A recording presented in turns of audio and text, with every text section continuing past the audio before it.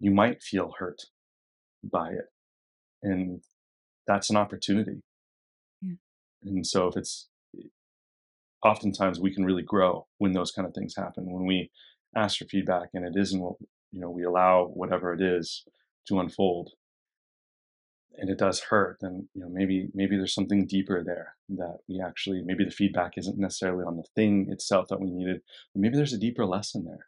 You know, maybe that this whole situation came forward to help us uh, heal a, a, deeper, maybe a deeper trauma or a deeper um, struggle that we're experiencing that we've suppressed for a very long time. And this this very thing, the situation, has come forward to help us unearth that. Yes.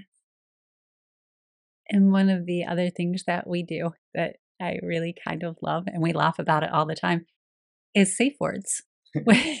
Not those kind of safe words, but safe words in conversation mm-hmm. during feedback, right? Mm-hmm. Because they can make you laugh mm-hmm. if you're in the midst of it. So if you're being open and vulnerable and someone says something that is way too triggering or way too hurtful, if you have a pre established conversation safe word, it can be so helpful like banana mm-hmm. or pineapple, which is, yes. you know, something that we've talked about. Mm-hmm. It can, if you're giving me feedback and it's like triggering me, triggering me, triggering me, and I yell pineapple, like how can that not immediately lighten the mood? Mm-hmm. And let you know in a very jovial way, like, okay, I'm hitting a nerve here. Mm-hmm. And maybe I need to step back from my communication and look at am I being critical or am I giving feedback? Yeah. Because there is a difference in the way that you give feedback too. Am I being constructive and am I being helpful and offering that? Or am I in a space where I'm being hypercritical and I need to readdress too? Yeah. And so having a safe word in conversation is important equally as much, right?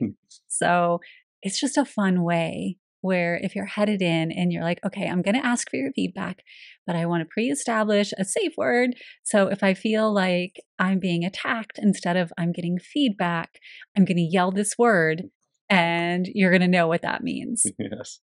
Yeah, it's a disarming it pattern interrupt, right? Exactly. For both for both parties, right? So, yeah. Um, yeah, pineapple. yeah, so we were we were watching uh, Ted Lasso for anyone who who loves it, and and one of the things that they uh, Ted was was sharing is that they say Oklahoma, and that's like a way to kind of disarm and just say, okay, no, actually, when this is said, I have to tell the truth. Yeah. And so when they're sharing about what's going on, and they're like, you know, are you good? And they're like, he's like, yeah. And then someone says, no, Oklahoma. And he's like, okay, no, I'm not, I'm not good.